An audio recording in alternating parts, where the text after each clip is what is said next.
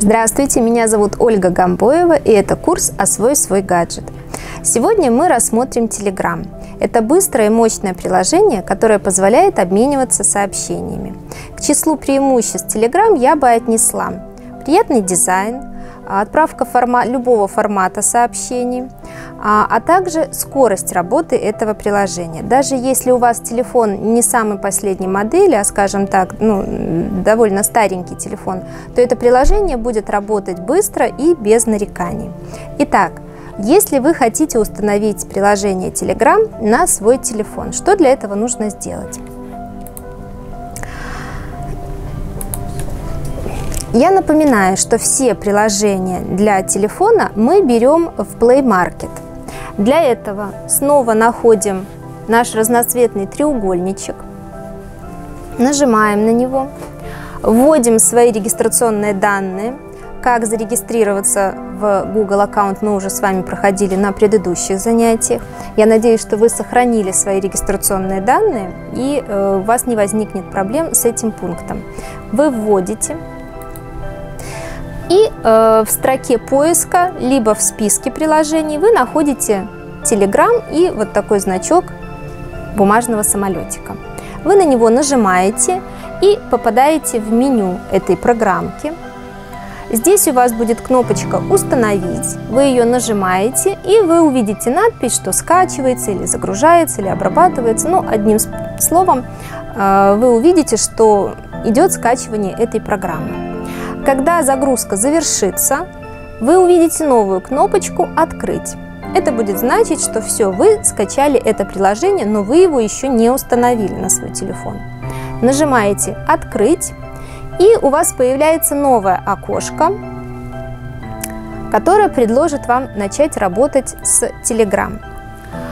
А, в этом окне вам нужно нажать кнопочку «Продолжить на русском», и вас запросит ввести ваш номер телефона. Не нужно этого бояться, это стандартная процедура. Вы вводите номер телефона, и вам придет код на ваш телефон, который вам нужно будет ввести в отдельном окошке. Будет такой же набор, как вы, когда совершаете звонок, то есть те же кнопочки, ничего сложного.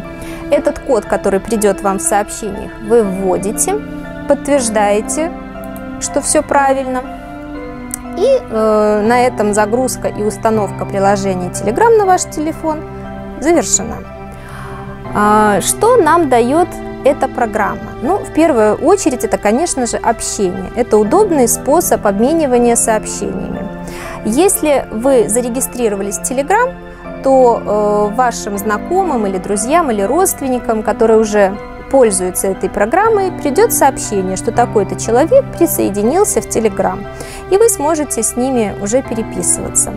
Если э, нет кого-то из ваших знакомых в этом приложении, но вы хотели бы с ним общаться в Telegram, вы можете пригласить его. Нажимаете кнопочку, и на WhatsApp или на Viber будет отправлено приглашение э, с предложением присоединиться в Telegram для общения.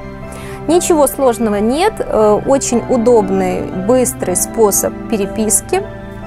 По сравнению с э, WhatsApp, ну, это примерно одинаковое, я бы сказала, приложение, но в э, WhatsApp нет таких каналов, чатов, ботов, как есть в Telegram. Чтобы отправить сообщение в Telegram, вам нужно найти карандашик, и э, тот контакт, кому вы хотите написать.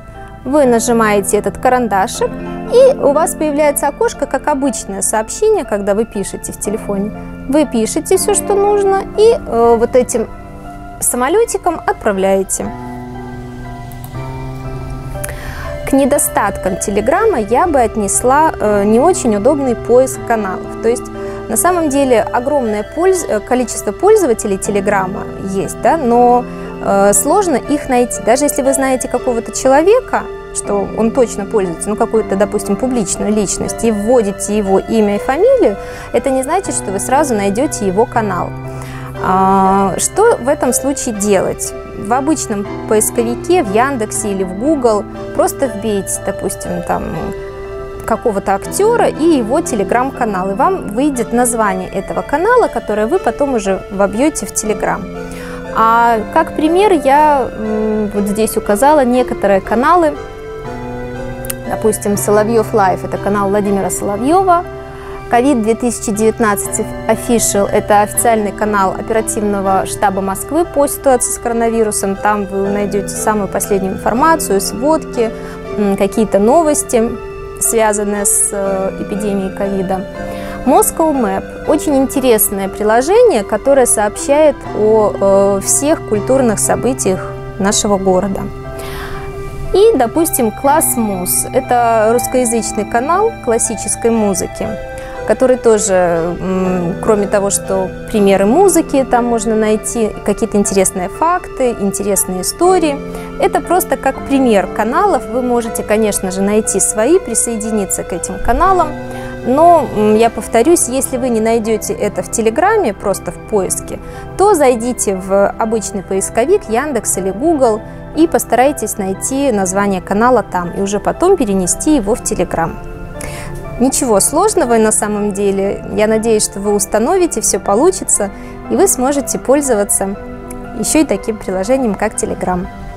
На этом все. Всего доброго. До свидания.